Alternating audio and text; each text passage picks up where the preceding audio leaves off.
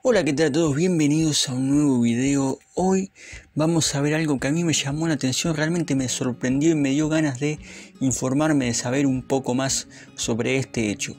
Me contaron que en un momento eh, hubo un barco inglés, una fragata inglesa, británica, como sea, que quiso entrar al Perú, quiso bajar al Perú, hacer algo.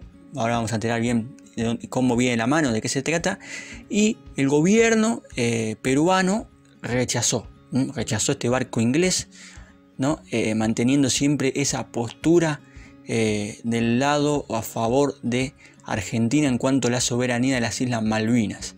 Y es algo que realmente me sorprende a mí, esa, mm, que mantengan ¿no? esa postura, esa idea de seguir defendiendo la soberanía argentina tanto tiempo, pese a todas las diferencias que ha tenido Argentina, gobiernos argentinos con gobierno peruano, con el pueblo peruano, em, que, realmente ha hecho mucho daño, ¿no? que, que, se ha em, lastimado esa memoria y, esos gestos que ha tenido Perú con Argentina a lo largo de la historia.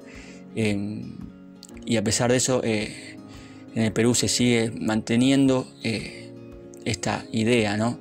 de, defender la soberanía argentina. Y la verdad que es algo que a mí yo admiro mucho, respeto muchísimo y, tenía ganas de ver esto, así que vamos para allá. Arrancamos a ver. El canciller tomó esta medida en apoyo el a la canciller, claro. por disputa de las Islas Malvinas. Ahí está, a ver, en apoyo de Argentina. La sorpresiva cancelación de la visita de una fragata de la Armada Británica al Perú generó Era una visita, claro.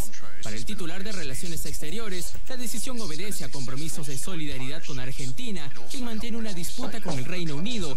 Según Roncagliolo, la decisión ya había sido comunicada a su par británico Jeremy Brownie durante su visita al Perú el último viernes y que horas más tarde la propia embajada del Reino Unido anunció que el buque con 183 tripulantes a bordo no estaba en condiciones de visitar nuestro país este jueves 22 de marzo, fecha programada para su arribo en el Callao, hecho que fue entendido como un gesto de comprensión a la decisión peruana.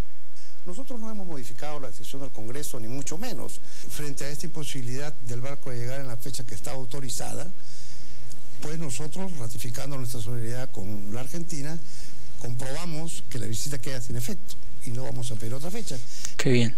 A través de una nota de prensa, la embajada británica aclaró que el arribo de la fragata HMS Montrose formaba parte de su despliegue de rutina por la región Dijo que su llegada al Perú fue acordada como un gesto de amistad y cooperación entre ambas naciones. Claro, pero no, no, lamentó que se haya revocado su acuerdo. Qué viene, qué decisión, por favor.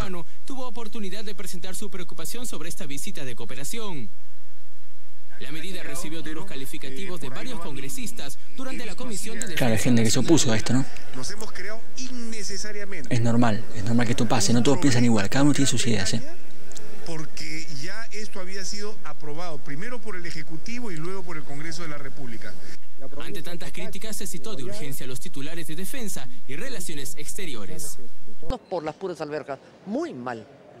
¿Debe haber alguna protesta por parte del Congreso debido a que la autorización la dio el Congreso? Acabamos de manifestar en la Comisión de Defensa del señor Iberico, ya trajo la noticia. Se armó un despiole importante, mucha gente que no le gustaron, no le gustó esta medida, ¿no? exactamente lo mismo. Porque ya había sido autorizado. el país no puede, el Perú no puede dejar de ser soberano y la solidaridad manejada por terceros eh, eh, y la autonomía y la soberanía de un país no puede ser manejada por terceros. El Perú mantiene relaciones buenas con Argentina y con, con, Inglaterra. Es como si el Perú dejara de ir a la gran cumbre de Colombia. Sería un error garrafal porque Cuba no va. Ha sobrepasado los límites de, una decisión que había tomado el Congreso. Claro, cada uno tiene sus argumentos, ¿eh? tiene sus posturas y es totalmente respetable, por supuesto. ingreso de esto. Y por otro lado, este es un Congreso que sesiona de espaldas a las decisiones que toma su Ejecutivo en UNASUR, que es de solidaridad con, con Argentina. No, está bien, tenemos que tener toda la solidaridad. Eso no, eso no, no implica que nosotros protejamos nuestros intereses. En caso de un conflicto, ¿usted cree que Argentina nos va a ayudar? ¿Cree por ventura que Argentina, con unas Fuerzas Armadas casi totalmente destruidas, va a soltar ni siquiera un, este, una carpa para darla al Perú? Yo lo dudo mucho.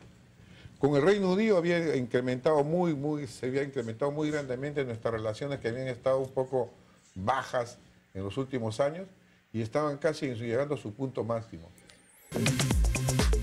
Bueno, bueno, bueno, una medida que dio que hablar mucho, que desató mucha polémica. Se entiende la postura de ambos lados, ¿no? Por un lado, la cooperación con Argentina, seguir defendiendo la soberanía. Y después, por otro lado, también, algo que me gustó también de, la otra postura, ¿no? La persona, eh, no recuerdo el nombre ahora, la mujer que decía, ¿no? Que Perú es un país soberano, ¿no? Y que debe defender sus intereses. Eso no quiere decir que esté en contra de Argentina, ¿no? sino que es solidario con todos los países, pero defiende sus intereses, es un país soberano y decide sobre su política, su política exterior y demás. Y me parece también correcto esa postura. Eh, para mí es un gesto admirable lo que han hecho. entiendo si eh, no lo hubiesen hecho también. También lo entiendo porque cada país defiende sus intereses y esto es así, por más que, que uno diga no, porque esto no tiene que apoyar a nosotros. Bueno, cada uno es un país soberano y decide. A mí me parece admirable eh, la postura del canciller, de quien sea que tomó esta medida, pero también respeto y entiendo también las otras posturas. Eh, así que bueno, quiero que ahora comentes acá abajo qué pensás, estás a favor, estás en contra, qué, crees, también sobre lo que dijo la persona, si eh, hay una guerra, un conflicto, si Argentina ayudaría a Perú. Se ha demostrado en la historia que Argentina lamentablemente ha estado del otro lado siempre. Ha pasado, por ejemplo, en el 95 con, con, el conflicto del Cenepa, con Menem es algo que el pueblo argentino no defiende, es algo que el pueblo argentino no avala, es algo que tienen que entender. Eh, entiendo, mucha gente dice, bueno, pero hubiesen puesto preso a Menem, bueno, esto son cuestiones del Poder Judicial y de, que, realmente no se manejan bien, pero el pueblo argentino está siempre a favor del pueblo peruano, tienen que saberlo, por lo menos la gran mayoría. Imbéciles hay en todos lados, por supuesto, ¿no? que discriminan y demás.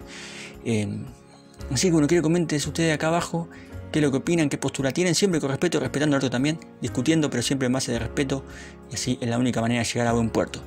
Suscríbete al canal si te gustó este video y querés ver más videos así, pasar por el canal que hablo de Malvinas, hablo de Perú, hablo de Chile y demás. Te agradezco mucho por este video y te espero en el próximo. El gobierno de Perú dejó sin efecto el permiso para el ingreso al puerto del Callao de la fragata inglesa Montrose. El gobierno de Perú decidió por solidaridad latinoamericana cancelar la autorización para que una fragata de guerra británica arribe al puerto durante cuatro días para una visita protocolar tras el apoyo de la Unión de Naciones Sudamericanas, UNASUR, al reclamo argentino de soberanía de las Islas Malvinas. El ministro de Relaciones Exteriores de Perú, Rafael Roncagliolo, afirmó que ha quedado sin efecto la visita de la fragata de la Armada Real Montrose a la base naval del Callao. Esta decisión ha sido adoptada en el de los compromisos de solidaridad latinoamericana asumidos en el marco de la UNASUR respecto de los legítimos derechos de la República Argentina en la disputa de soberanía sobre las Islas Malvinas, Georgias y Sandwich del Sur y los espacios marítimos circundantes, precisó en declaraciones justamente el funcionario del gobierno peruano.